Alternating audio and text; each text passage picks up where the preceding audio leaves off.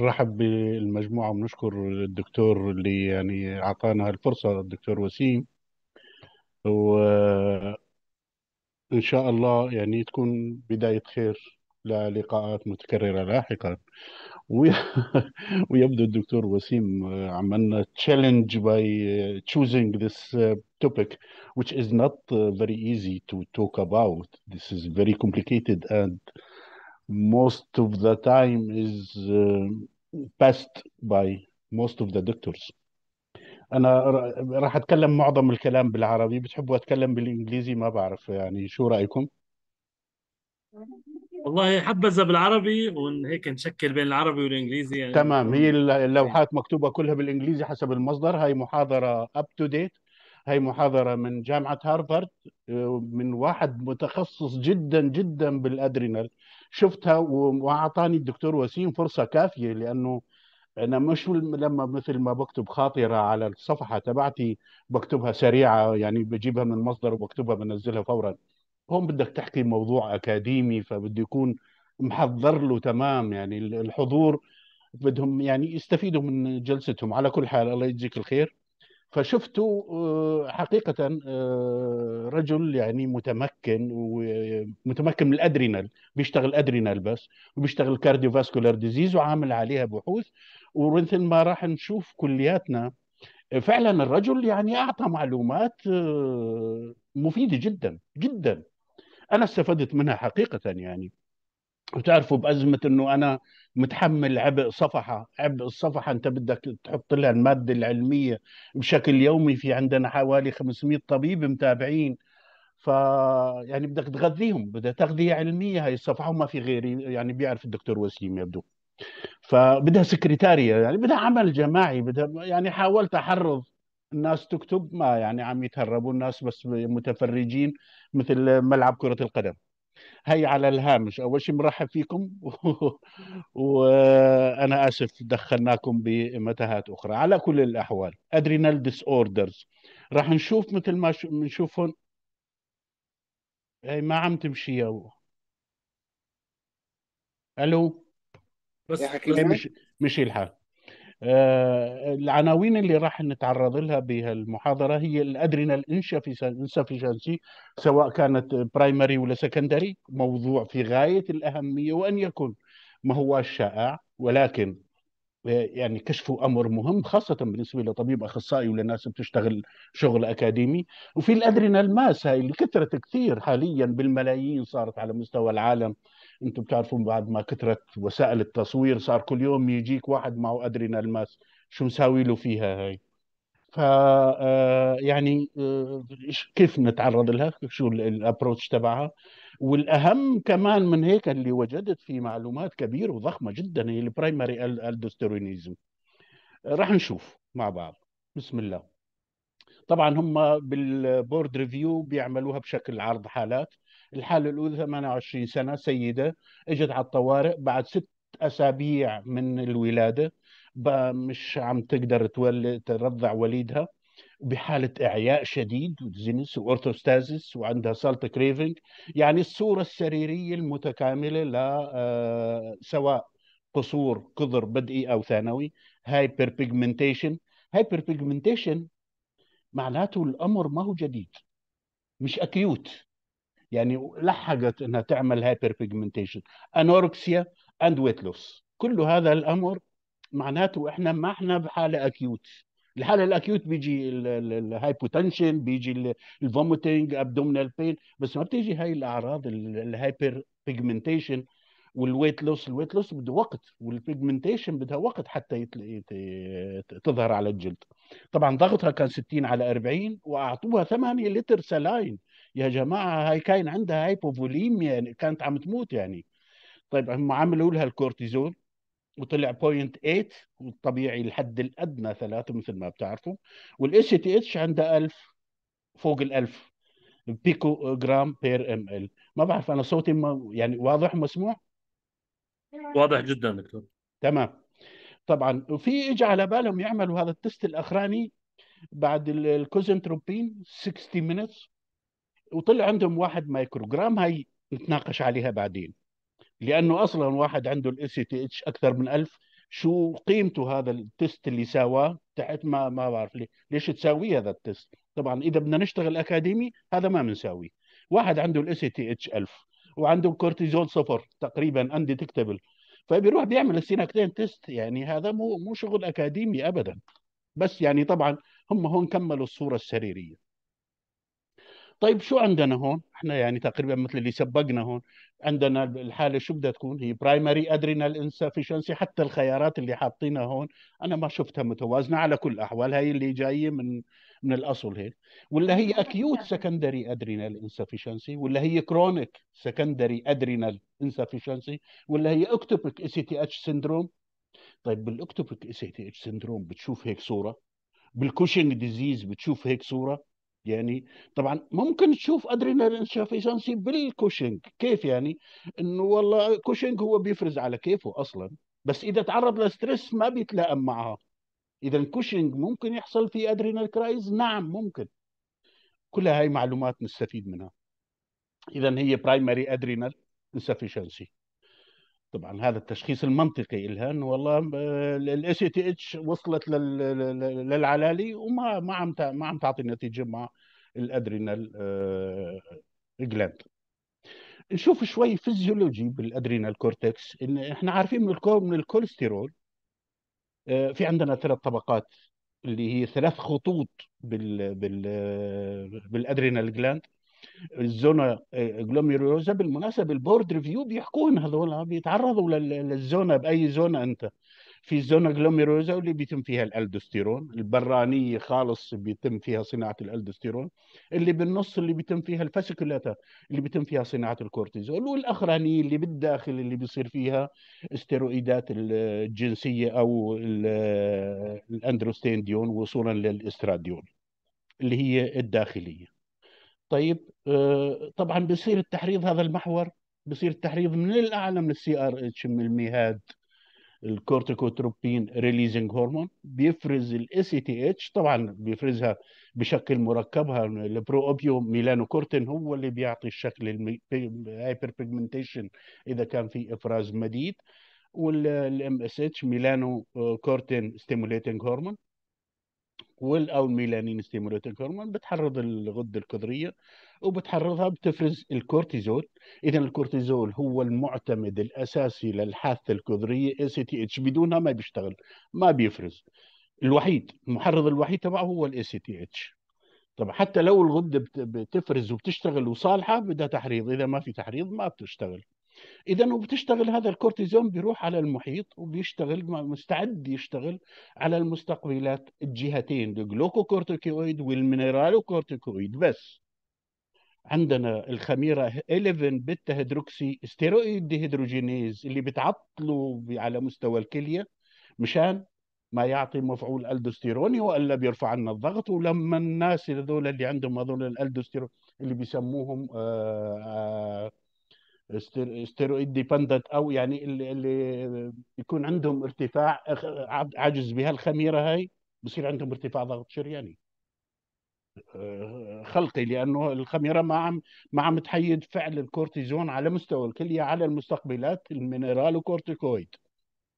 هذول اللي بيطيبوا على الكورتيزون. أنت بتعطيهم كورتيزون آه، ديكساميتازون. بيطيب ليش؟ لأنه أنت ما عاد خليته يزيد عنده مستوى الكورتيزون على مستوى المستقبلات بالكلية.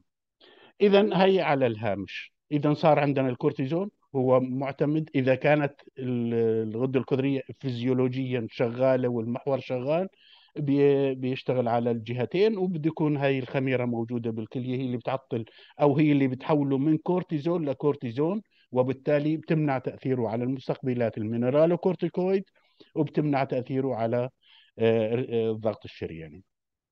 بس حتى ناخذ فكرة شو هي الستيرويدات اللي بتتم بالكظر حجما أو كما؟ بنعرف إنه هم بيجي الكورتيزون بيجي الكوليسترول من الدوران وبيروح للكظر وبيتصنعوا أكبر كمية بتنصنع هي ال dehydro epiandrosterone sulfate بينما الكورتيزول بيجي بالدرجة الثانية. كحجم هم حاطين تمثيل كرات. والالدوستيرون مثل ما إحنا شايفين أصغر بكثير من من الكورتيزول أقل بكثير من الكورتيزول وأقلها شيء هي الستيرويدات الجنسية ال sexual steroids اللي هي بتعطي ال 17 beta estradiol وال 17 وصولا للإسترون. فهي كميات زهيدة. طبعا هي هذه أهميتها بتظهر آه، عند البلوغ وبالتالي البيباركة بنسميها البيباركة يعني بتظهر أشعار العانة عند البلوغ اللي ما بيظهر عندهم اشعار العانه بنشك عندهم. يا أما مشكلة بالمستقبلات يا أما مشكلة بتصنيع الهرمونات الجنسية. آه، فلذلك ما يعني بتظهر عندهم بالبداية. فطبعا بالنسبة للألدوستيرون آه، ما هو مثل الكورتيزون. يعني الكورتيزون هو معتمد أساسي لل ACTH الالدوستيرون لا في مجموعة من العوامل. وبالتالي إذا هذا المحور ما اشتغل ما بتأثر الألدوستيرون. إذا عندنا مشكلة مثل Sheehan syndrome أو مشكلة أي مشكلة بالنخامة اللي بيظل الألدوستيرون شغال. لذلك هذول المرضى اللي عندهم مشكلة فوق بالنخامة وما فوق يعني ما فوق والكظر بيظل أحيانا ممكن يعيشوا حياة شبه طبيعية مثل شيهان مثلا. سنين ما بنكتشفه أحيانا. وبيجوا كل اللي بيجوا عندهم شوية أعراض هضمية شوية ارقياء شوية بيدخل بيدخل على المستشفى. طبيب الطوارئ يعني ما عنده هالإمكانيات التشخيصية سواء سريريا أو مخبريا إنه والله كل واحد يدخل فيه بالتعمق بال يعني إنه والله يعمل له ينفي عنده آه، آفة غدية.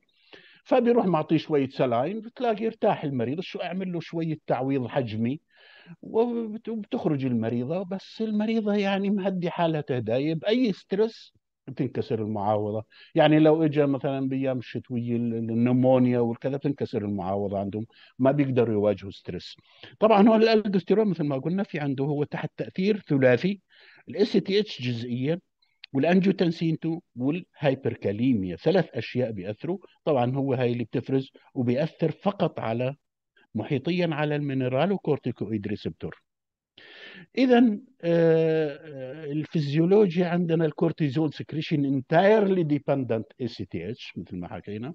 ال aldosterone not dependent only on ACTH it is regulated by angiotensin 2 renin angiotensin system ال potassium balance وال ACTH اذا كمان في عندنا إنه والله في تبدلات يوميا ما عندنا رقم مطلق.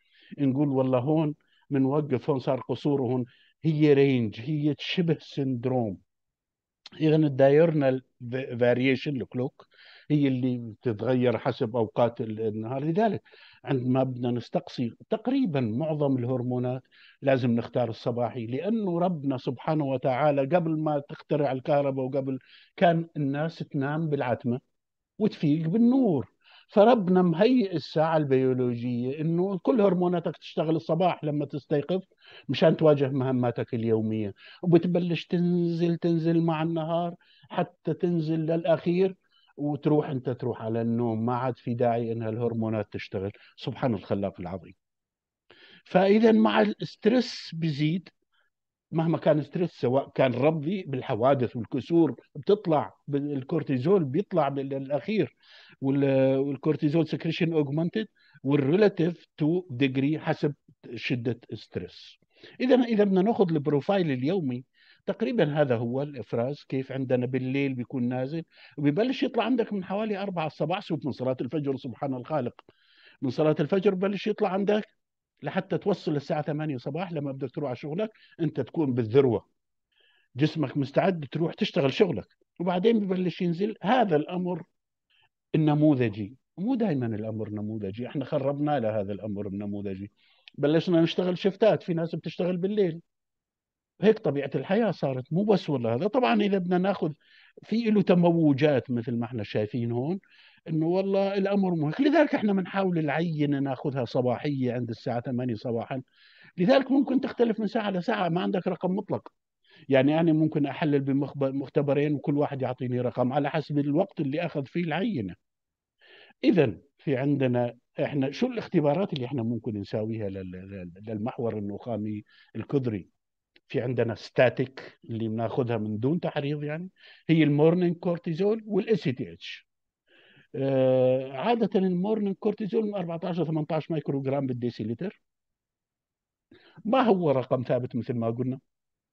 وإذا كان أكثر من 10 بيكون مقبول وبالديسيليتر probably okay when pre-test probability is low. AM cortisol less than 5 مايكروجرام is slightly suggestive. خلاص أنت بتبلش تفكر إنه هون في مشكلة. أقل من خمسة يعني مو معقول عندنا الحد الأعلى لل 20 لل 25 صباحي يجي عندك أقل من خمسة بدك تفكر. فإنه والله وساعتها ممكن نلجأ للي بيسموها ال provocative test التحريض. ال AM cortisol من 5 ل 10 may be difficult to interpret صعب أحيانا نقدر نفسره إذا كان بال gray area بالمنطقة الرمادية. طبعا آه، إحنا بنعمل شو ال provocative test هو أصلا لا يميز لنا ما بين ال primary وال secondary إذا والله الكظر خربانة مهما كان السبب مهما تعطي تحريض ما راح تجاوب. اذا اذا انت أنت سريريا مفكر إنه secondary ولا ولا primary إذا مفكر إنه يعني حاب تميز وما عندك وقت أصلا هم اللي موجود بالطوارئ يا جماعة. أصلا عقله موقف على التفكير بيكون مواجه. إحنا قاعدين الحين نفكر بال... بال... مثل ما بيقول المثل بالراحة اللي ايده بالمية مش مثل اللي ايده بالنار. فأنت بيكون عندك مريض بين الحياة والموت أحيانا بتشتغل شغلات آه، بدك تنقذ المريض بأي ثمن. فبتشتغل شغلات بسرعة بتعطي الكورتيزون مثلا مرات قبل ما تأخذ العينة للمختبر وهذا طبعا ما بصيرش المفروض. قبل ما نعطي الكورتيزون الأمر ما بيتطلب وقت كبير. عندما نواجه حالة shock. اذا ال morning cortisol وال ACTH الآن appropriate AM cortisol is ideally من 14 ل 18 مثل ما قلنا. ال provocative test هو بنعطي ال Synacthen اللي بيسموه Synacthen مشهور باسمه التجاري أو هو ال cosyntropin الاسم العلمي تبعه 250 مايكروغرام. هاي في جدل عليها. في ناس بتحب تعطي ال low dose ال one مايكروغرام وهي فلسفية جدلية؟ ما زال علميا واكاديميا مستخدم هاي ال dose هي الإبرة اللي موجودة بالسوق 250 مايكروغرام stimulating cortisol إذا كان يعني highly suggestive of adrenal insufficiency إذا كان ما أعطاني جواب إيجابي. وهون مثل ما إحنا شايفين تحت كاتبين إنه 18 مايكروغرام هو الحد الكتوف الحد الفاصل تقريبا نيو كورتيزول اميونو اسي تو هاف لور ثريشولد طيب. بداء أديسون اللي بنسميه داء أديسون اللي هو العطل بال بال adrenal gland مثل ما إحنا شايفين هون تضخم التحريض الخط الأسود هون تضخم ما في جواب أمامه فبينجبر يزيد. التحريض تبعه فال ACTH بتوصل الأرقام الفلكية. اذا المواصفات تبعه إنه low cortisol high ACTH low aldosterone لأنه المشكلة قلنا إنه والله المشكلة بالغدة نفسها. في hyperkalemia ال manifestation تبع low aldosterone hyper hyponatremia and hypovolemia هذول اللي بيحتاجوا لما يوصلوا لعندك على الطوارئ بتعطي بتعطي normal saline وما عم يستجيب فورا check بال adrenal وال physical examination المريض تعبان anorexia hypotension orthostatism هبوط ضغط انتصابي ال weight loss ال hyperpigmentation ال abdominal pain وبجوز كمان أشياء أكثر بكثير. طيب هون كمان قلنا بالتحريض إنه والله عندي ال ACTH عالي. خلص عالي هي ما الفيزيولوجيا عم تحرض وما عم تحصل على جواب. أنت ليش تعطي Synacthen فطبعا يعني في حال أعطيناه ما راح يحصل جواب. شوف هون أعطيناه ال Synacthen وشوف أعطى الجواب من 1.8 ل 2.1 تقريبا ما في جواب لأنه ما في غدة. الغدة تلفانة. طيب ال cosyntropin testing شو هو هذا ال cosyntropin testing؟ standard dose مثل ما قلنا 250 مجر كورتيزول أند اي سي تي اتش بيز لاين إذا نحن بنأخذها قبل وبعد التحريض ما بدنا نشوف شو أعطتنا. وبعد التحريض بنقيس بعد 30 دقيقة إلى 60 دقيقة. خاصة إذا المريض عندك بالطوارئ. أنت اعطيت بدك تعطي علاج بتأخذ العينة ال baseline بتعطي ال Synacthen وبعدين إذا بدك تعالج بتعالج. low dose Synacthen هي الواحد مايكروغرام عليها جدلية هي إنه والله ال 250 جرعة عالية. وهي هي الفائده منها ما بين ال ACTH لوس رير وال cortisol measurement measured at 30 and 20 and 30 minute ال interpretation هو ال cortisol baseline cortisol 30 ل 60 دقيقة فوق ال 18 إذا والله كان يعني بينفينا أنه والله في قصور كظري إذا والله استجابت الكظر للتحريض طيب شو أسبابه؟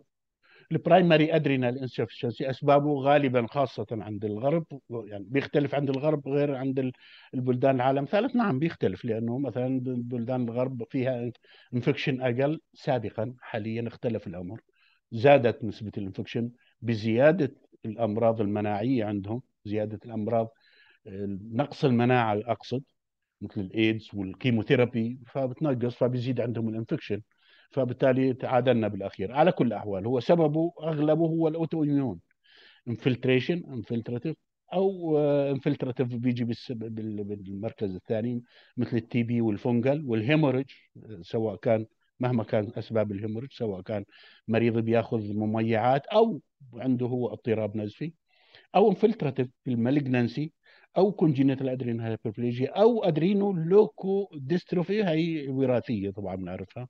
وعادة بتيجي بالأعمار المبكرة ما بتتأخر كثير بال وطبعا الأدوية ال antifungal لأنها هي بتحاصر بناء الستيرويدات والهيبارين لأنه بيعمل النزف وال etomidate طيب هي هي نفس الأسباب اللي حكيناها بس هون بشكل يعني شوفوا هون عندنا هذا اللون الأزرق كله هذا المناعي وفي عندنا هذا ال infection اللون البني والباقي باقي الأسباب هي أقل بكثير مثل ما إحنا شايفينها هون هي بتاخذ نسبة قليلة مثل الدوائي مثلا وهون الانتاني ذاكروا ال fungal وال HIV وال syphilis وهون الانتقالات الليمفوما إلى آخره. طيب اللوحة هاي جميلة جدا وهي بتتكرر تقريبا بمعظم الأمراض المناعية. إيه، إيه، ما بعرف إذا في حدا في حدا بيحب يعلق عليها هاي اللوحة؟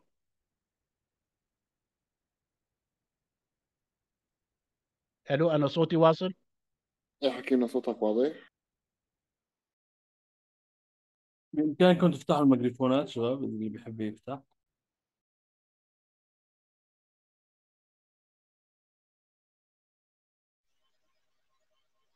يعطيك العافية دكتور تفضل دكتور علي يعطيك العافية. حكيم فينا نقول إنه أي اضطرابات مناعية وخاصة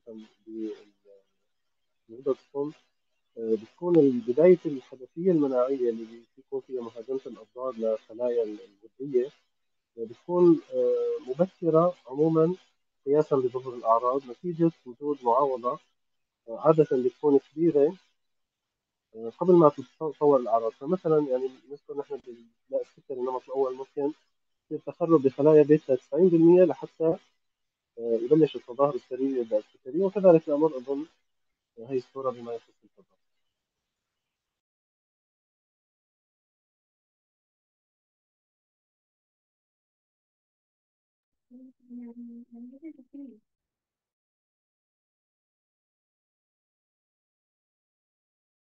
دكتور محمد أنت مسكر ميكروفونك يا ريت تفتحه.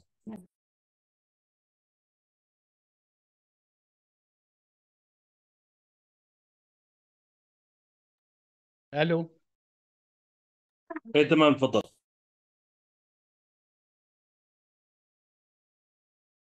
لا رجعت سكرت ميكروفونك دكتور بس انتبه على الموضوع.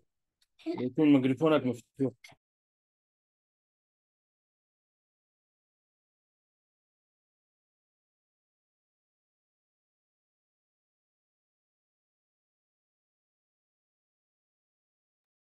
هيك واصل؟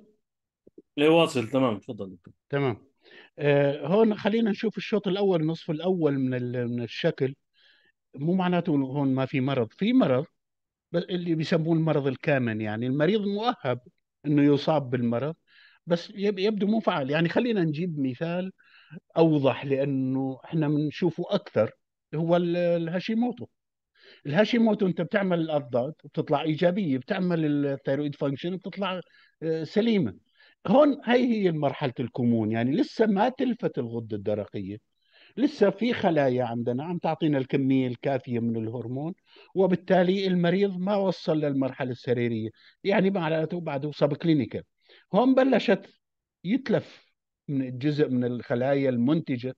هذا بنشوفه تقريبا معظم الأمراض المناعية الغدية سواء كان بال type 1 diabetes سواء كان بهاشيموتو وهي هون بالأديسون. الصورة نمطية يعني. طبعا كل ما نزل الإنتاج لدرجة أنه بصير سريريا متظاهر أكثر وبالتالي بتأخذ وقت على حسب سرعة العملية المناعية. هالصورة هي شوي يعني بتخلينا نفكر إنه والله المريض مو دائما بيجينا اللي بيسموها بال... بالإنجليزي full blown ما دائما بيجيك بال... بالصورة النمطية. يعني أحيانا بيجي بعد في عنده إفراز وبالتالي ممكن يجي لعندك ويرد يرجع ما يسمعش كلامك. وبكل الأمراض الغدية سواء كان بالسكري أو بالدرق أو بالكظر أو فحتى يوصل لمرحلة الإعياء التام لحتى يسمع كلامك ويصدق إنه والله في مشكلة وبدها معالجة.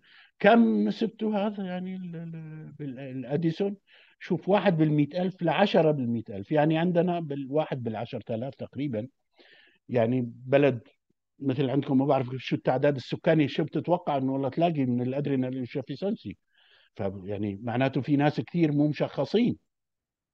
ف signs and symptoms لما بيكون صار أكثر من 90% من الغدة راح لحتى تبلش تظهر الأعراض. ف آه... اللهم صل على النبي. أيوه. فاذا هون إحنا عندنا آه ال manifestation بال secondary low basal cortisol بيكون inappropriate low ACTH المفروض إحنا لما ينزل عندنا الكورتيزول تنزل ترتفع ال ACTH فإذا أنت عملت تحليل وال ACTH ما ارتفع معناته في مشكلة فوق مو تحت. عادة ما في مشكلة بال بالشوارد. بس أنا شفت في مشكلة بالحياة العملية. إيمت المشكلة بتصير لما بصير انكسار معاوضه يعني بالإنسان اللي مستقر حياته العادية لأنه الغدة الكظرية شغالة. على أقل من مهلها. ما في عليها تحريض. وبالتالي هي مضبطة أمر الشوارد. لما بيحصل انكسار معاوضة لا الأمر بيختلف. وبصير تقريبا قريبة من ال adrenal crisis مع فرق إنه ما في hypo hyperkalemia البوتاسيوم مش طالع. البوتاسيوم ممكن تلاقيه عادي بس الصوديوم بتلاقيه واطي. أنا جتني أزمة شيهان حقيقة تغلبت فيها أربع خمس أيام حتى مش حتى طلعت. وبتعمل لك آه، يعني هي يعني طبعا بدها محاضرة لحالها لأنه الادري ال endocrine emergencies الإسعافات الغدية. وشو الصورة السريرية اللي ممكن تيجيك فيها يعني. وبتعمل بتعمل لك stress حقيقي لأنه المريض يعني ممكن يروح بين ايديه فكم وكيف بدك تعطيه سوائل وكيف بدك تعوض الشوارد وشو ال ال ال السيناريوهات اللي ممكن يتعرض لها. يعني بتذكر أنا حالة شيهان نذكرها على الهامش. اجتني بهايبوناتريميا طبعا هي اجت بلوحة نفسية إنها هي مريضة طبعا مش معتنية بنفسها وجايبينها على أساس إنه هي مريضة نفسية تاركة أولادها وتاركة. فطبعا هي مش قادرة تعتني بنفسها طبعا حلق لها شعرها على الصفر لأنها ما بتقدر تعتني بشعرها لهالدرجة الحياة. طبعا وناحله هي يعني لانها تقريبا عندها anorexia. وطبعا بالطوارئ هي الموجود الوحيد كان عندها hypotension. وكان عندها ال hyponatremia وإحنا ما بنعرف إحنا بمجتمعات محافظة يا جماعة ما ما بتيجي المرأة على الدكتور تقول له والله أنا غابت دورتي وعندها أربع خمس أولاد يعني لذلك وخاصة الأهل بيصيروا يعني المخلوقة يعني ما بين الزوج والأهل والأولاد وطبعا تركها زوجها لأنه هي مو قادرة تقوم بمهامها المنزلية يعني. فالأمر تتصوروا المأساة الاجتماعية والنفسية اللي بتعيشها فوق مرضها. فيعني الأمر لا حول ولا قوة إلا بالله على أي حال. فال ACTH ما بتكون طالعة. هي هي المميزة هون عندنا. وبيكون ال hyponatremia ممكن تلاقيه ممكن ما تلاقيه. مثل ما قلنا وال normal potassium completely normal physical بتفحص ما بتلاقي شيء. ما في hyperpigmentation عندك بس في تعب. progressive fatigue balance في hypotension حسب الشده مثل ما قلنا. اذا هون عندنا ال cosyntropin بتعمل تحريض حسب. هون حيكون عندك نمط الاستجابة مختلف. ألو كل مرة أنا معلش بدي أتأكد من الصوت. واصلكم كلامي؟ واصل دكتور تفضل. طيب. آه، التحريض آه، هون ما بيفيد طبعا. إذا والله أنا يعني موجود في جو غائم وماني عارف الأمور كيف بدي أحرض الكورتيزول عندي نازل وبدي أحرضه ما ما عم يحصل معي نتيجة طبعا مو متوقع. إذا كان acute ال hypo آه، pituitarism بيعطي جواب لأنه بعد الغدة الكظريه فيها حياة. هي بس مع الزمن بده يحصل atrophy وما عاد تستجيب. لذلك آه، يعني آه، بنشوف إنه آه، بعد فترة يعني فترة كام أشهر مثلا إنه والله ما عاد تستجيب الغدة. إذا لو أعطيت سنتين ما بيلتبس الأمر ما بين primary و secondary بس طبعا في فرق بيظل سريري. قلنا إنه والله ال pigmentation مو موجوده بالأول لأنه أصلا ما في إفراز ال ACTH طيب هون شايفين إنه والله أعطينا الكورتيزون هم بالحالة المزمنة. أعطينا ال Synacthen وشوفوا التحريض الاستجابة ما في استجابة. هون تقريبا بدل ما توصل 20 تقريبا هون وصلت أربعة بعد في توالي غدة كظرية رغم أنها فيها atrophy. أي بس استجابة ضعيفة يعني. إذا بال secondary ال causes شو أسبابها هي؟ ال pituitary mass أي مشكلة تضغط على إفراز ال ACTH cells. adenoma or metastasis lesion pituitary infection. ال pituitary infiltration granulomatous diseases ال iron ال iron بال hemochromatosis وال pituitary trauma طبعا. أو الأكثر مصادفة هو ال glucocorticoid مشان هيك حطيناه بالأحمر. كل الناس بتستخدمه. هذا ولا بيخطر على بال حدا إنه والله هذا إحنا عم نعمل تثبيط لأنه آه، الباب مفتوح وكله بي- بيوصف والمريض ما بيعرف أصلا. هو بيجي يقول لك والله أنا أخذت هذا ما بيقول لك. بيقول لك أنا كنت مريض أنا كنت وأعطينا أعطاني الدكتور دواء. وأغلب الأحيان ما بيجيبش الدواء معاه ولا بيقول لك المده اللي استخدمها فيه. هو أحيانا لما بيرتاح على الدواء بعيدها من حاله يعني. مو مو بالضرورة دائما الطبيب اللي طبعا بسبب النظام الصحي عندنا ببلادنا إنه مو نظام تأمين إنه والله المريض كل مرة مجبور يجي على الطبيب حتى يعيد دواء. وهي من فوائد التأمين. طيب. شلون بنعالج ال primary adrenal insufficiency ال management هي ال glucocorticoid معروف. وطبعا هو ال standard هو ال- الهيدروكورتيزون إنه نعطيه تقريبا جرعتين لأنه نصف العمر تبعه قصير. نعطي 10 ملي جرام صباحا ونعطي 5 ملي جرام مساء وممكن مرات نعطي أكثر. ها طبعا للي عايش النظام الحياة النموذجية في ناس يا جماعة بيشتغلوا شفتات بالليل بجوز يناسبهم. نظام مختلف. طبعا ولما تكون ال- ال- الكظر تلفانه بدنا نعطي ال mineralocorticoid ما بيمشي الحال بلا. الفلودروكورتيزون بنعطي 0.05 أو 0.1 يعني آه، 0.1 ملي جرام آه، فلودروكورتيزون مرة أو مرتين باليوم حسب الاستجابة مع ملح الطعام ملح الحمية ال dehydroepiandrosterone عليه خلاف. في ناس بيحبوا يعطوه بيقول لك والله إنه بينشط وفي حتى بالغرب موجود على بيسموه over the counter drugs يعني بيشتروه من السوبر ماركت بدك alert هي مهمة جدا لأنه هذا المريض إذا راح على الطوارئ شيء مرة من المرات ما بدهم يعرفوه إنه والله هذا عنده يعني وي- ويسعفوه بالوقت المناسب. وال sick day rule وكمان إحنا نثقفوا لهذا المريض إنه والله إذا تعرض لأي صدمة إنه لازم يكون عنده إبرة كورتيزون يعطي إبرة كورتيزون أفرض تعرض- تعرض لحادث مروري أو إذا والله صار عنده أي آه، مرض بده يعالجه. مثلا التهبت اسنانه صار معه pneumonia إلى آخره يضاعف الجرعة لوحده بالبيت. آه، وطبعا آه، كمان إحنا شلون بدنا نراقب؟ نراقب سريريا إنه والله المريض ما عم يشتكي وما بنحاول نعمل له نزود الجرعة حتى ما نعمل له كوشنج دوائي. والاستجابة المخبرية بنراقب طبعا إذا والله بيراجعنا كل ثلاث أربع أشهر بنعمل له ال electrolyte. الصوديوم والبوتاسيوم. آه، بنعمل آه، يعني طبعا إحنا بنشوف إذا والله في عندنا glucocorticoid excess مثلا في عنده مشكلة عمل عمل هشاشه عظام إذا والله زايدة جرعة ال corticoid ولا ارتفع ضغطه ولا نزل ضغطه ولا آه، عنده أعراض كوشنج حسب الجرعة. فالحاله الثانية هيك خلصنا تقريبا من ال adrenal insufficiency primary and secondary خلينا ندخل على ال adrenal incidentaloma طبعا هم بفصلوا لك الحالة بحيث يقنعوك إنه والله هي incidental وهي طبعا موجودة incidental لا شك.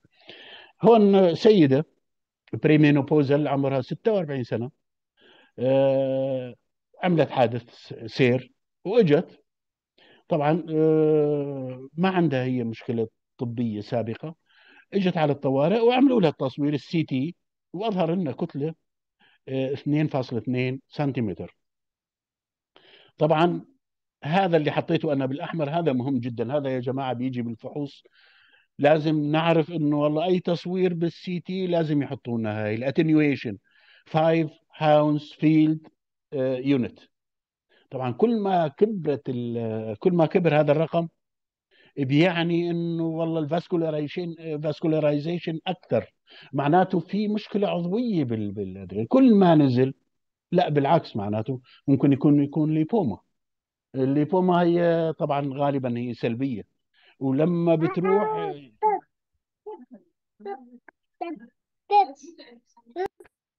لما بتكون أنت آه اللهم صل على سيدنا محمد لما بتكون أنت بالفحص بيحطوا لك هي فإذا حطوا لك إياها عالية فوق العشرة حطوا لك إياها 20 فأنت بدك تفكر في آفة عضوية بالغدة وبدك تفكر بالتشخيص التفريقي تحط آفة عضوية.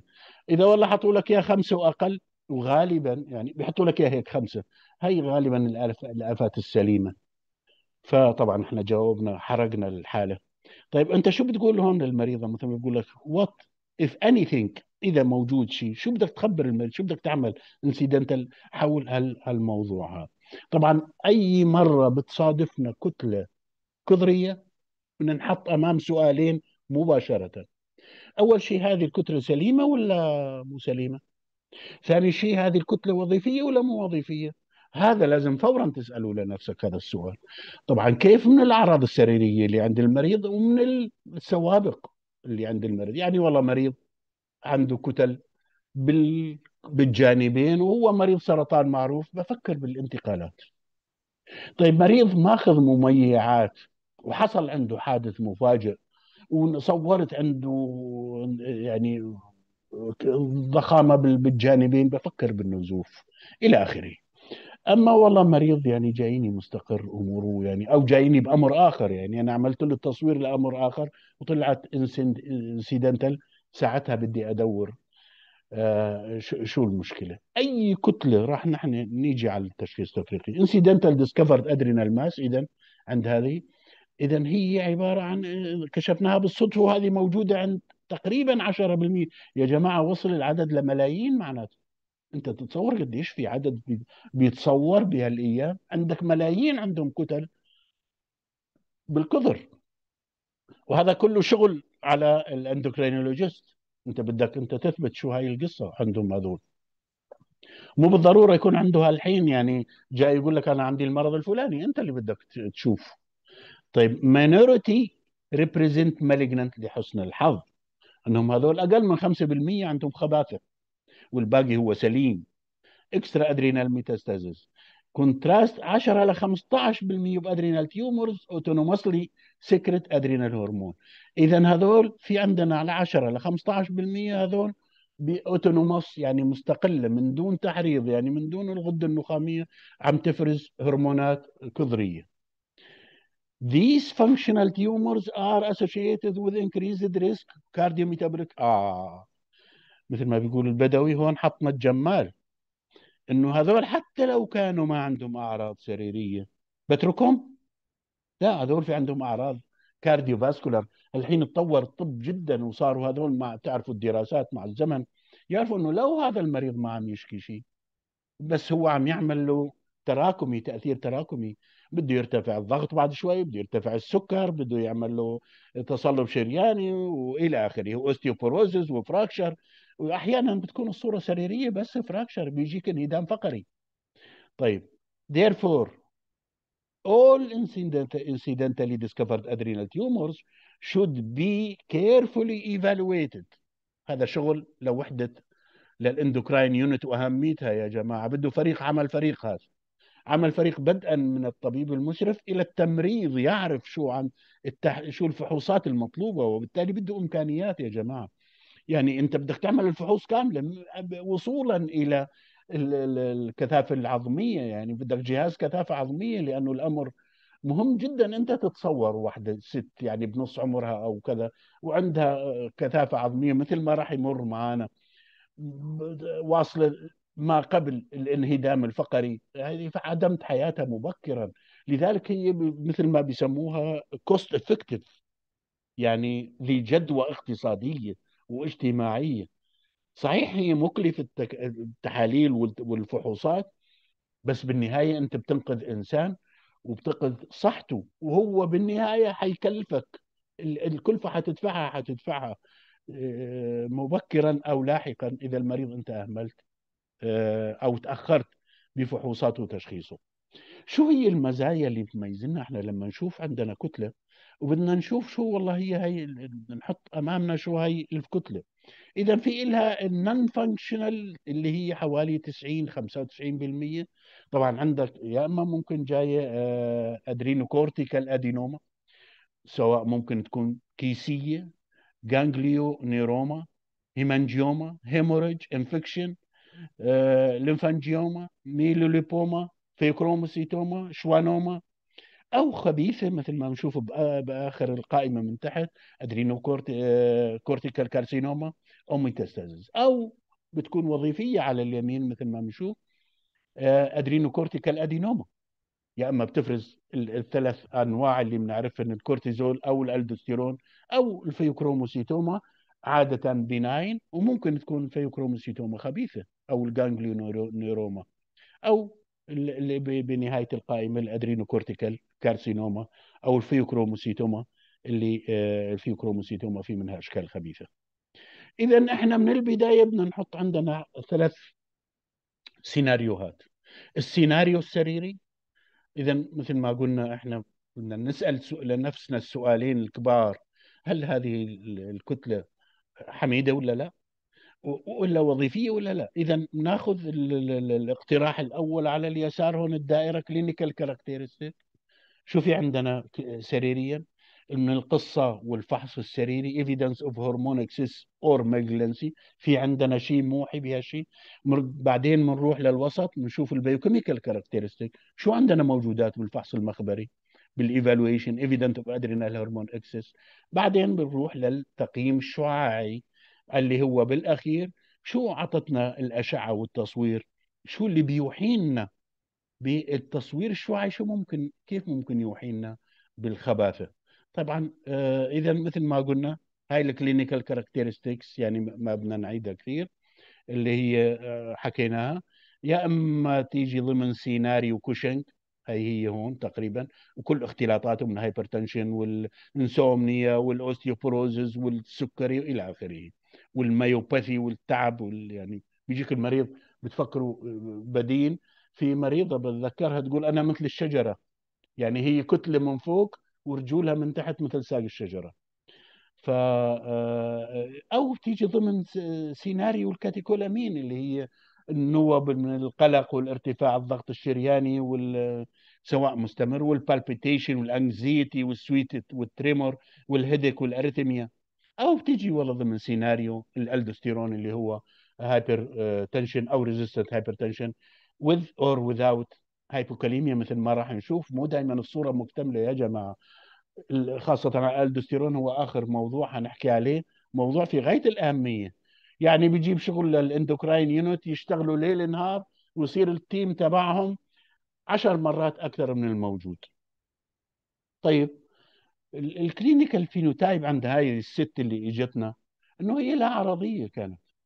إحنا وجدناها لأنه هي عاملة حدث وعملنا لها صورة. ما كان عندها symptoms ما كان signs suggestive of Cushing syndrome ولا pheochromocytoma ولا hyper hyperaldosteronism ولا hirsutism عندها. يعني هي لا عرضية.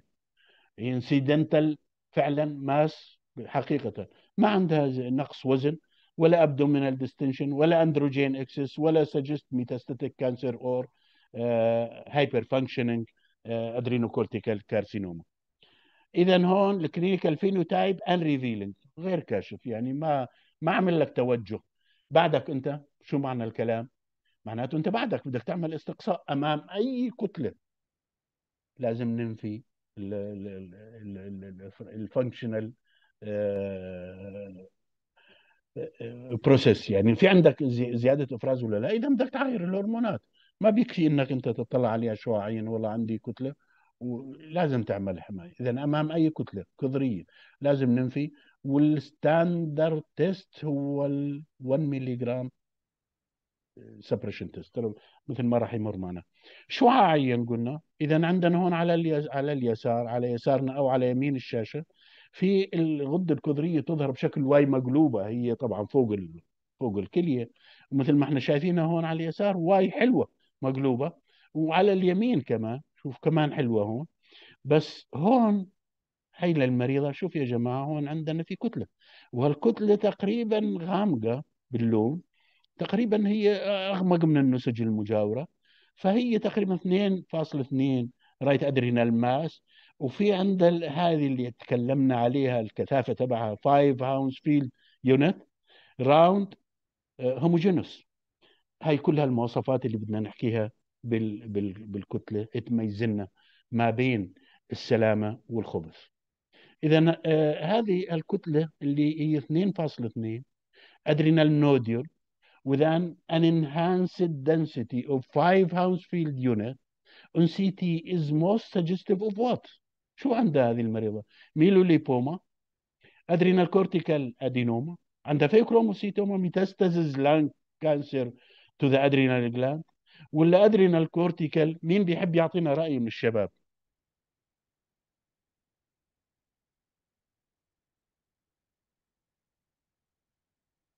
ألو؟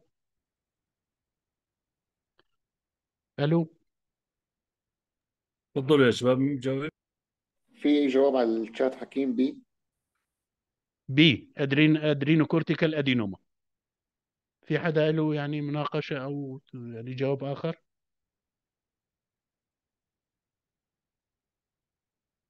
طيب مشان نمشي مشان الوقت. شكرا.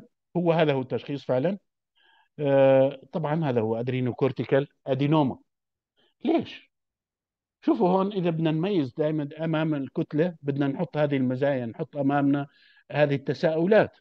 شو المزايا الخبث؟ هو هون إذا إذا كان عندنا ما في هذه المزايا likely benign غالبا هو سليم. عندنا أهم شغلة اللي حكينا عنها وركزنا عليها إنه ال Hounsfield أقل من عشرة. في عندنا irregular shape لا ما فيها irregular shape. فيها heterogeneous content لا هي آه، ما عندها ما فيها heterogeneous. في necrosis أو calcification ما عندها. في rate of growth كم سرعة نموها هذه؟ عادة أقل من 1 سنتيمتر بالسنة. ال attenuation عندها أقل من 10 طيب ال contrast washout بيسموها. ال washout هي لما نصور بال- بالمادة الظليلة المفروض بعد فترة إنه تطلع المادة الظليلة. هي اللي بيسموها ال washout فلما بتكون في توعية شديدة فبتتأخر ال washout وبالتالي بيكون في آفة عضوية. طيب لما تكون شحمية ما بيكون في والله. هي بيكون ال washout سريع والله بعد ثلث ساعة ما ظل فيها شيء ما ظل فيها ماده ظليه أصلا لأنه ما دخلت عليها. معناته النسيج شحمي تقريبا أو نسيج غير فعال أو نسيج خامل. اذا ال contrast washout أكثر من 60% معناته هذا سليم. آه، إذا طيب ال MRI توحي لك بيسموها ال suggestive of lipid rich content إنه والله إذا أعطتنا والله آه، جانا التقرير lipid rich خلص هذا ما هو نسيج فعال طيب ال FD ال FDG هاي اللي بيسموها هذه ال PET scan نادرا ما نسوي هذا ما بيكون له فعالية ما بيكون uptake طيب الحجم كمان الحجم بيلعب دور. هي عندها كان 2.2 وهون عندنا أقل من 4 سنتيمتر دليل السلامة تقريبا أو مؤشر سلامة. عند هذه المريضة شوفوا كلهم هذول عندها موجودين. اللي هي وبالتالي عند هذه المريضة آه، مؤشر على إنها حميدة. أو ما بدنا نقول حميدة لأنه إحنا بدنا نروح أول شيء نشوف ال- الوظيفة مثل ما قلنا إنه الافراز الهرموني. طيب شو الافرازات شو الفحوص الهرمونية اللي ممكن نسويها؟ أمام أي كتلة مثل ما قلنا لازم ننفي hypercortisolism اذا standard test هو ال 1 ملي جرام dexamethasone suppression test هذا لازم يتساوى لكل adrenal mass طبعا إذا ما عندنا تشخيص إذا والله metastases خلص ما يعني أو hemorrhage ما بنساوي له هذا أما والله أول مرة بنكتشفها بعد ما بنعرف شيء أو عندنا أعراض موحية بال hypercortisolism لا بنعمل بال dexamethasone test وبنتأكد إنه المريض أخذه وبنعطيه بنصف الليل وثاني يوم لازم يعمل suppression أقل من 1.8 ميكروغرام بالديسيلتر آه، إذا كان والله من 1.9 ل 5 صار mild autonomous إذا خمسة معناها صارت في عندنا في استقلالية. إحنا مع آه، قلنا ال ACTH suppressed إذا ال aldosterone ال aldosterone أمره مختلف عندنا. في hypertension وفي hypokalemia إحنا بدنا آه، الرينين بتكون suppressed serum aldosterone هذول الفحوصات اللي بنعملهم. and plasma renin activity طيب بال pheochromocytoma هذول معروفة ال metanephrine ومشتقاتها بتكون عادة بالصورة lipid poor lipid poor contrast avid heterogeneous adrenal masses ال plasma or urinary fractionated metanephrine عادة إذا بدنا نشك فيها بدها تكون ضعفين لأربع أضعاف الحد الأعلى. طيب إذا كان والله عندنا شعرانية أو ذكورة بنأخذ ال dihydrotestosterone وال total testosterone وبتكون أكثر من الأعلى الحد الطبيعي. طيب عندنا في 10 ل 15% من الناس هذول اللي بيكون مرتفع عندهم الكاتيكولامينز بيكون بالقلق بيرتفعوا بس مثل ما شفنا إحنا هون إنه آه إذا كان إيجابي بدنا نفكر فيه إيجابي بيكون مرتين لاربع مرات أعلى من الحد الطبيعي أو اضعف هون ما بيكون ما بيكون وصل حتى لو ارتفع مرتفع هو بيخليك تشك ويعني بيخليك تنجبر تعيد التحليل بس ما هو مرتين لأربع مرات في حاله القلق أو اللي بيأخذوا الادوين مضادات الاكتئاب. أمر آخر بالمقابل 100% من ال negative خلص negative. مرة واحدة ما بتحتاج تعيده. بس طلع negative خلص ما هذا ما عاد يرجع والله. عندنا كتلة ما أفرزت ال catecholamine ما حترجع تفرز ال catecholamine. اذا مرة واحدة negative حتكفي. طيب إذا شو شو هو فحص اختبار الدكساميتازون هذه المريضة أعطيناها دكساميتازون 1 ملي جرام وثاني يوم عندها الكورتيزول 8 ما صار suppression معناته هذه اللي بيسموها autonomous أو مستقل. ثاني يوم عادوا التحليل طلع 7.8 وال ACTH أقل من 5 ثالث يوم عملوا ال high dose suppression أعطوها 8 ملي جرام ومع ذلك طلع عنده 8 مايكرو جرام ال ACTH أقل منه. ال 24 ساعة الكورتيزول الحر بالبول كمان طلع على الحد الأعلى. على الحد الأعلى. هي ما وصلت يبدو لكوشنج بس هون في عندك غدة شغالة. ما معها خبر ACTH يعني عامله suppression لل ACTH ولحالها عم تشتغل. طبعا بس شو هون كمان حتى بال salivary cortisol لقوه مرتفع عنده. وال ACTH دائما واطية وال dehydroepiandrosterone sulfate واطي كل هالأمر suggestive of autonomous ACTH independent hypercortisolism without overt Cushing syndrome. ما هو لسه ما وصل للسريري؟ ال plasma metanephrine normal وال aldosterone وال plasma renin activity not suggestive خلاص يعني ما هو الأمر ما هو ما هو على محور الألدوستيرون. طيب هي ضغطها كان 122 على 75 يا جماعة. والسكر الصباحي عندها 99 والهيموجلوبين A1C 5.8 بلشت توصل لل gray zone يعني وصلت بلشت توصل لمرحلة عدم تحمل السكر. اذا هي تقريبا على الطريق هي راح يعني يتفاقم الأمر مع الوقت. بينما الكثافة العظمية عندها ال spine minus 3.2 وال femoral neck minus 2.2 وال hip minus 2 وكل الاختبارات تبع ال secondary osteoporosis كانت negative معناته ما في عندنا غير إفراز الكورتيزون شو بتقترح لها هاي بناين اذا adrenocortical adenoma autonomous cortisol secretion no overt clinical Cushing syndrome but unexplained osteoporosis. شو مساوي لها؟ طبعا هون ممكن أنت تدخل مع المريض بنقاشات والله إذا والله الجو مناسب للعملية مش مناسب للعملية بتحب تساوي عملية بتحب تأجل الأمر بتحب تأخذ رأي بتحب ترجع بعدين بتحب نراقب مرة ثانية الأمر. بس طبعا هون آه، تم لها عملية هذه المخلوقة. الأمر individualized decision مثل ما أنتم شايفين individualized decision. laparoscopic right adrenalectomy شالوا لها الكظر الأيمن وال pathology طلع 2.5 سنتيمتر adrenal cortical adenoma. وال post وبعدها هذا هذا السيناريو يظل ببالنا دائما بعدها الكورتيزول اجى أربعة يعني على خلي من الحد الأدنى. وال ACTH يعني المفروض عندنا إحنا الكظرة الثانية تعطينا كورتيزول كافي. بينما آه آه آه يعني آه بينما ال ACTH هون ما ارتفعت بعدها بعدها طبعا هي بتاخذ وقت حتى ترجع آه تكتسب ال- يعني يروح عنها ال suppression effect بعد أسبوع هاي هون راح ال suppression monitoring الكورتيزول كم صار؟ 17 رجعت تعافت هي طبعا كانت آه، ال- ال- ال- الكظر الأيسر suppressed ما كان عندنا كورتيزول كثير ليش تشتغل؟ سبحان الله هي المعاوضة الفيزيولوجية عند بني آدم. لما راحت طبعا هي المريضة هون ما احتاجت علاج آه، رجعت عاوضت. كمان هذا السيناريو نخلي في بالنا إنه والله إحنا بدنا نستنى شوي. إذا ما في يعني آه، ضرورة سريرية يعني المريض ما دخل بانكسار معاوضة ممكن نستنى شوي ونشوف ال- الكظر الآخر اشتغل ولا ما اشتغل.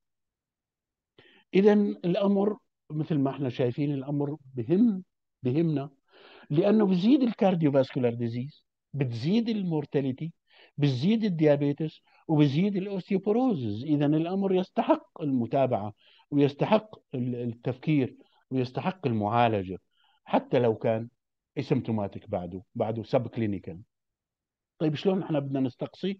تقريبا هاي ال algorithm اللي حكيناه كله ملخص بهالجدول إحنا طبعا نأخذ القصة السريرية والخلفية اللي وصلنا فيها المريض عندك incidental adenoma بدنا نعمل له ال evaluation اللي حكينا عنه ال evaluation السريري عفوا وال والمخبري. وبعدها ال biochemical ال evaluation وال radiologic إذا والله كله هون في شيء موجه يعني إيجابي آه، بدنا نثبت آه، نثبته نرجع وبالأخير الحل هو جراحي طبعا. ونرجع من بنرجع بنعيد ال- يعني بنلقي نظرة أخرى على المريض بعد آه، كم من شهر. طيب إذا حال في حالة إحنا بالسسبشن ما أعطانا نتيجة آه، بدنا نرد نعيد الفحوصات معناته إحنا. بنرد نعيد الفحوصات وبنرد نرجع ممكن لهم. إذا إحنا قلنا ممكن أحيانا نحتاج نعمل بيوبسي. والبيوبسي نعملها فقط بحالتين قلنا. إذا والله إحنا عندنا شاكين بحالة آه، انتقالات. لل... معلش أنا لحظة الباب عم يندق عندي. اعذروني لحظة.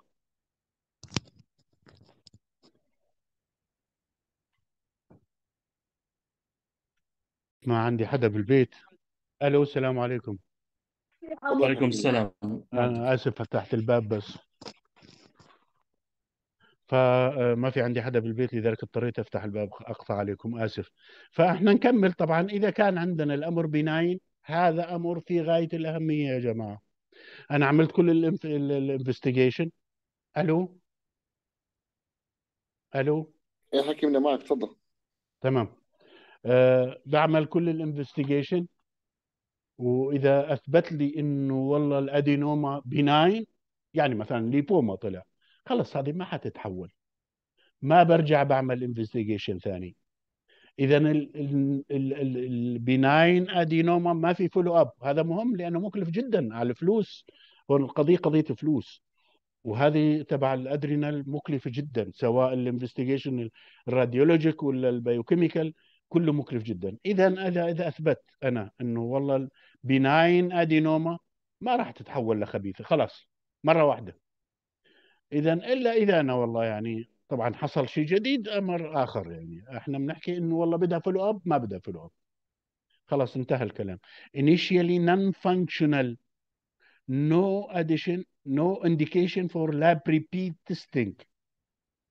ال autonomous هون اختلف الأمر. طبعا هون الحل إنه والله عقدة مستقلة مثل ال autonomous مثل بالدرق. أحيانا بتيجي مستقلة. عم تفرز ما وصلت لي ما وصلت لي تقريبا ل subclinical hyperthyroidism بتركها إذا ما بدي أشيلها لأنه وقت ما وصلت لمرحلة تعمل لي hyperthyroidism بس بدها متابعة هاي لأنها autonomous ممكن تتحول ل hyperthyroidism وهون الأمر ينطبق تماما على آه، هناك. مع طبعا هناك في استطبابات لل subclinical وهون نفس الشيء إنه والله في استطبابات لل subclinical. overactivity طيب اذا خلينا إحنا آه، ننتقل للحالة الثالثة. خلصنا تقريبا ال incidentaloma بدنا نروح لل primary aldosteronism hyperaldosteronism طبعا مثل العادة بحطوا لنا حالة سريرية. ومثل ما إحنا شايفين هون مريضة عمرها 60 سنة. مش بالصدفة ترى إحنا شوفوا الثلاث حالات. تقريبا حالات نسائية مو هيك اذا تقريبا عندنا الغدد أكثر عند النساء من الرجال. هذا لا يعني إنه الرجال ما بينصابوا اذا هون عندنا 60 سنة woman with hypertension. Hypertension for 30 years. معناته من لما كان عمرها 30 سنة. وهذا بيعطيك انطباع على انه الأمر ما هو. من البداية ما كان essential hypertension. ما كان من البداية إنه والله هو ارتفاع ضغط أساسي. طيب حاليا تأخذ لزينوبريل املوديبين وهيدروكلورتيازايد. هذول الأمريكان بيحبوا الهيدروكلورتيازايد يا جماعة. فمرة واحد من الشباب عم يقول لي إيه هذا مو خط أول بالمدرات. يعني عند الأمريكان خط أول. ما بشوف ما بيحطوا غيره مدرات. المهم مع ذلك ضغطها بين ال 150 ل 160 على 90 ل 100 طيب شو بنسميه؟ تاخذ ثلاث أدوية واحد منهم مدر نسميه resistant hypertension هذا هذا التعريف تبعه. اذا عندنا ارتفاع ضغط شرياني على ثلاث أدوية واحد منهم مدر وغير مضبوط. اذا هذا هو اللي بنسميه resistant hypertension طبعا دكتور عندها- بالجرعات العليا ما هيك؟ يعني لازم يكون بالجرعات العليا. إيه بالضبط. يعني هو يعني حاط لك الفرضية هو مفصل طيب دائما الحالات بتيجي مفش- مفصلة تفصيل. اذا وعندها ال hypokalemia وعندها كمان إنه ال alkalosis عندها كمان من عشر سنين عندها alkalosis. شو بدك أكثر من هيك؟ خلص عندك انطبق هون ال clinical phenotype concerning primary hyperaldosteronism. خلاص هون ما ضل عندك. طبعا ال- الجو يعني ما هو بهالسهولة يا جماعة. إحنا ما بدنا دايما نبسط الأمور. أنت بدك تحكي الكلام عن مريض متابع بالعيادة. متابع بالعيادة يعني أنت ما شفت هاي ال- ال- البوتاسيوم ولا شفت مين اللي بيساوي غازات الدم لمريض ارتفاع الضغط ولا حتى بالمستشفى؟ مثل ما راح نشوف. هذا الكلام مو بس عندنا بالمناسبة عالميا. إذا هون صار عندنا هذا ال ال ال الأزرق هون. إنه والله توجهنا عندنا هون هايبر ألدوستيرونيزم. مهم هالأمر؟ نشوف. إذا عندنا هايبر الدوستيرونيزم لازم البلازمارينين اكتيفيتي تكون سبريست أقل من 0.6 نانوغرام بالميل بير اور وال هذه الليزينوبريل وال اذا تقريبا في إعادة وهون بيقول إنه والله هو بس إحنا اكتشفنا إنه والله عندها هذه المريضة اكتشفنا إنه عندها hyperaldosteronism وعالجناها بدل ما تأخذ ثلاث أدوية أعطيناها دوايين واحد منهم spironolactone وضبطت يعني صار control ليش؟ لأنه إحنا اعطينا الدواء النوعي لل للمضاد لمستقبلات الألدوستيرون طيب شو هو ال primary aldosteronism؟ اذا هو syndrome of inappropriate relatively non-suppressible renin independent ما هو الرينين المفروض suppression ومع ذلك الالدوستيرون عالي production result in excessive activation of renal mineral uh, uh, mineral corticoid receptors with vicious circle of volume expansion ما بيحبس الصوديوم وبيحبس الفوليوم بيحبس السوائل مع الصوديوم وبالتالي بيرفع لك الضغط can increase blood pressure, increase potassium and, uh, hydrogen excretion, increases risk of cardiovascular disease وهذا الامر المهم اللي ما ندير بالنا عليه انه والله بس الامر مو بس ارتفاع ضغط في cardiovascular disease independent of blood pressure ليش؟ لأنه هذا الالدوستيرون يا جماعة مو بس بيأثر على الضغط وبيأثر بالمستقبلات العضليه القلبيه والكلويه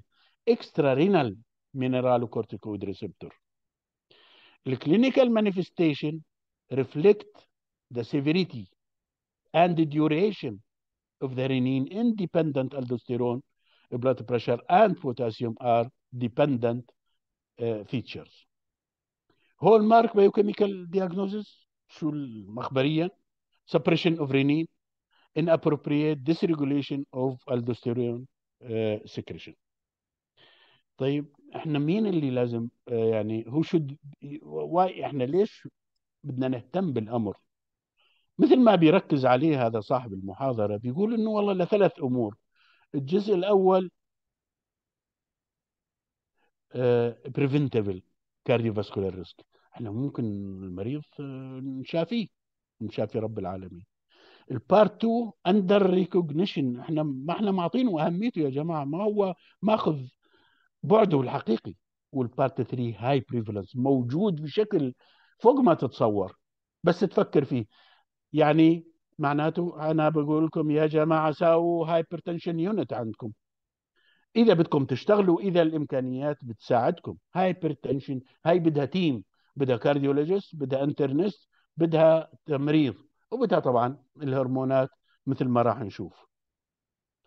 طيب إحنا لو قارنا المريض ال hyperaldos ال primary hyperaldosteronism مع مريض الضغط العادي على اليمين بنشوف إنه ال cardio آه coronary artery disease الضعف عنده.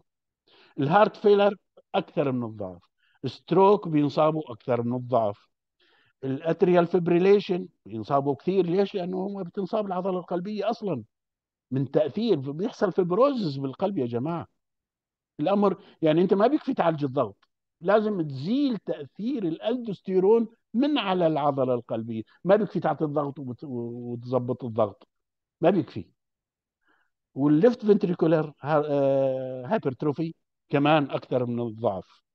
اذا بتزيد ال hyper ال cardiovascular independent of blood pressure طيب إحنا كمان لو جينا بهذا المخطط بنشوف إنه والله إذا كان في عندنا hyperaldosteronism يعني فرط فرط تصنع أو إلى آخره بالجهتين نقارنه مع ارتفاع الضغط الأساسي خطرهم على القلب على ال cardiovascular risk and cardiovascular events مع ال primary hyperaldosteronism المعالج جراحيا. يعني إحنا شلت شلنا هذول النتيجة شو راح تعطي؟ شوف الفرق كيف معطينك حتى بالأخضر. إنه الفرق كبير. إحنا إذا قدرنا نشيله هذا من مرة ونخلص المريض منه مو بس نعالجه طبيا. طيب إذا primary aldosteronism increase the risk of cardiovascular disease and we have targeted therapies that can mitigate this risk إذا how common قديش هذا موجود يعني؟ قديش تتوقعوا مرضى؟ بالملايين. بال... على مستوى العالم نتكلم. يعني هو على مستوى العالم بيتكلموا إنه والله في عندك شيء billion hypertensive patient فهذول كم تابع ف... دكتور آه... أنت بدك تشوف إنه والله هذول يا ترى آه... ملايين منهم عندهم hyperaldosteronism حسب النسبة اللي راح نشوفها. ال resistant hypertension ربعهم عندهم hyperaldosteronism طيب ال stage 2 hypertension 10 ل 15% عندهم primary hyperaldosteronism حتى stage 1 عندهم 5 ل 10% عندهم حتى اللي ما عندهم ضغط بالمناسبة. مو مو بس مريض الضغط. يعني اللي مهيئين. يعني مو 100% ما عندهم hyperaldosteronism عندهم بس بنسبة أقل. مثل اللي مثل ما قلنا ال incidentaloma إنه والله هي subclinical ممكن يكون بال hyperaldosteronism بعده subclinical. اذا إذا كان في عندي hypertension و hypokalemia بصير عندي ربع الحالات عندهم hyperaldosteronism إذا كان عندي hypertension و severe hypokalemia بتوصل ل 85% شبه الكل صاروا عندهم hyper آه، aldosteronism طيب شو المشخص منهم عالميا؟ شوفوا الرقم يعني مزري. أقل من 1% متعالجين من هذا حتى بأمريكا حتى بالدول ال- ال- العظمى. Screening rate among patients with uh, resistant hypertension. عند هايبوكاليميا ولا بيطلعوا بيجوا لعندهم وبيعالجوهم وبيروحوا. على العيادات حتى العيادات الاختصاصية اللي بيسموها عيادات الضغط بتروح. يا ترى بتوعدونا عندكم تعملوا لنا عيادة ضغط؟ لذلك أنا عملت بالصفحة عندي ما بعرف يجوز الدكتور وسيم متابعها. دورة على الضغط الضغط أمر مهم يا جماعة هذا القاتل الصامت واللي ممكن علاجه واللي إحنا مهملينه ومش معطينه فعالية غير المريض لما يجينا يعني مستويه أموره. طيب هالصورة هاي مين بيحب يعلق لي عليها لو سمحت؟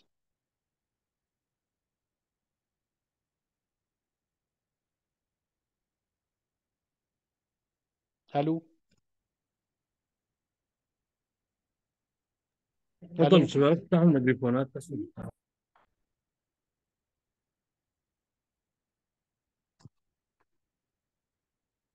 دائما إحنا بنربط سريريا مع صور مع حالات هيك تخليها ت... يعني تثبت بالذاكرة هذا ال... هذا الهدف وإلا مو الهدف أي شخصيات بس الشخصيات المشهوره مثل هيك. يعني مين بيحب يعلق لنا عليها؟ طيب نمشي حتى آه ن... ما نتأخر. السلام عليكم. عليكم السلام. آه بعتقد إنه ال- بالصورة بتقول إنه في عنا كسور وإنه ال- القبعة كبرت عليه آه على راسه وإنه هن مين هو طيور مين هو يعني أنا مين بصراحة وكأنه دأبجت. هو مين هذا؟ يا جماعة هذا الرئيس الأمريكي الأسبق روزفلت. هذا اللي قاد أمريكا بالحرب العالمية الثانية مشهور أشهر من نار على علم آه هذا حكم أربع مرات بالمناسبة. هذا مواليد عام 1882 وتوفى عام 1945 تقريبا. توفى بمرحلته مرحلة حكمه الرابعة الوحيد تقريبا أو من الأقلاء اللي حكموا أمريكا أربع مرات. طبعا إحنا شايفين في عكاز هون. ليش؟ هو هذا أصيب بشلل الأطفال بالمناسبة. وبعدين أهم من هيك هو بيش مات. هو طبعا كان عنده كان مريض ارتفاع ضغط. وطبعا بهذاك الوقت أنتم بدكم تتصوروا الطب بالأربعينات يعني طبعا هو توفى بجلطة دماغية. هي من الاختلاطات الفظيعة لل primary hyperaldosteronism. طبعا بتشريح الجثة يبدو وجدوا عنده Conn disease وجدوا عنده كتلة. hyperaldosteronism ما كان الطب متطور ولا التحاليل متطورة مثل الحين بس حتى نقول لكم إنه والله بأعظم دولة الرئيس تبعهم. بس هذا كمان الحكي قديما. حتى نربطها إنه الهاي ال primary hyperaldosteronism ممكن ينتهي بجلطة دماغية وينهي الحياة. يمكن كان عمره حوالي 65 67 سنة لما توفى. طيب نمشي اذا هون نشوف والله مصادفه ال hyperaldosteronism. هون تقريبا 9% عند ال normotensive يا جماعة. 9% ممكن تلاقي عندهم ارتفاع. هون ب stage 1 15% إذا بتعمل تحاليل بتلاقي عندهم ارتفاع. يعني لذلك هذا ما بشجعنا نعمل وحدة ارتفاع وحدة ارتفاع الضغط الشرياني عندكم ونعملها team ما بتستحق. هون عش... قديش أنت بدك توقي أرواح؟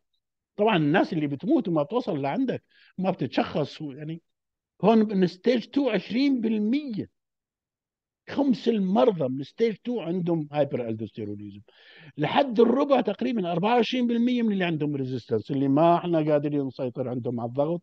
ربعهم عندهم hyperaldosteronism حتى هذول اللي عندهم hyperaldosteronism إذا بتعايروا ما بتلاقي واصل حده الأعلى يا جماعة. هو لأنه أصلا إفراز نوبي بيسموه إفراز. فلذلك هذول عندنا ال resistant hypertension primary زائد primary وال aldosteronism ممكن الالدوستيرون يكون أقل من 10 ب 24% من الحالات. ال aldosterone production is pulsatile variable أنت ممكن ما تيجي على ذروة أثناء أخذ العينة على ذروة الإفراز. ال aldosterone level أقل من 10 نانو جرام can still inappropriate واحد مرتفع ضغطه وعنده الالدوستيرون. يعني إلا إذا كانت أقل من الخمسة ساعتها بتشيله من بالك. طيب إحنا عندنا مثل ما قلنا عندنا اللي مشخصين أقل من 1 ل 2% resistant with hypokalemia ال prevalence أكثر من 25% وأقل من 1% ever diagnosed وال resistant ال hypertension ممكن يوصل للنص من ال resistant all currently diagnosed هو شوفوا هالكرة الصغيرة هاي هي نف... اللي من من هالكتلة الكبيرة من مرضى الضغط اللي إحنا هذول اللي تم الانفستيجيشن عندهم. اذا الامر اكبر من هون الكتله الحمراء انه والله لو إحنا نعمل انفستيجيشن of overt primary aldosteronism and uh, clinically relevant renin independent aldosteronism uh, amenable to targeted therapy prevalence of primary aldosteronism more than 5 to 15 percent less than 1 percent ever diagnosed all hypertension more than 1 billion people resistant hypertension all currently diagnosed primary aldosteronism اللي هي بالدائرة الصغيرة اللي تحت. طيب شو ال ال ال ال الاستطبابات إنه نعمل؟ أنت بمجرد ما تلاقي ارتفاع ضغط شريان resistant hypertension and hypokalemia خلص هذا صار عندك مبرر يعني أخلاقي إنك أنت تعمل investigation طبعا مع هذول اللي مكتوبة بالأحمر هذه هي اللي بنركز عليها. عفوا. اذا هو stage 2 hypertension new onset hypertension ال major شو بدك تعمل؟ أنت بتعمل ال plasma renin activity وال aldosterone يعني الأمر ما هو كبير at any time شوف at any time من دون ما توقف أي دواء حتى بيقول لك. no medication change don't miss your chance بس يجيك المريض. اعمل له العينة. طبعا بعدين أنت والله تعمل التفص... التفصيلات لما أنت بدك تدخل بال بالتأكيد. طيب شو إحنا قلنا؟ شلون بدنا بعدين نفسر ال measure plasma renin and aldosterone renin suppressed هي لازم تكون هي أقل من صفر فاصل أو هي ال plasma renin concentration أقل من 5 ل 10 milliunit per liter. طبعا هو هون داخل بال algorithm الكلام اللي تكلمناه هو سابقا هو عامله بشكل algorithm هون. measure plasma renin and aldosterone إذا الالدوستيرون أكثر من 15 وعندك hypokalemia صار عندك آه صار واضح primary aldosteronism likely confirmed وإذا لا معناته هون primary aldosterone unlikely. ممكن أحيانا رينين تكون not suppressed خاصة لما نكون مستخدمين الدواء. آه مثل آه ال mineralo آه corticoid receptor antagonist أو rarely other medication اذا هون ال imaging artery بنروح بعدين لل artery لل adrenal vein sampling لما إحنا بنتأكد من كل هذه. اذا ما بنروح لل sampling قبل ما نتأكد من كل من هذه الأمور. اذا عملنا التحليل ال basic وطلع مرتفع ما بنروح وهي عملية يعني عملية راضه وعملية مكلفة وعملية صعبة. اذا بنروح لهذه متى؟ لما إحنا نكون أثبتنا كل هذا سابقا. أو إحنا بنعالج هون mineralocorticoid receptor antagonist therapy و dietary sodium restriction. إذا كان المريض ما بده يساوي عمل جراحي أو غير ثابت للعمل الجراحي. جزاكم الله خير وشكرا لكم على تحملكم لنا وتقريبا هون بنوقف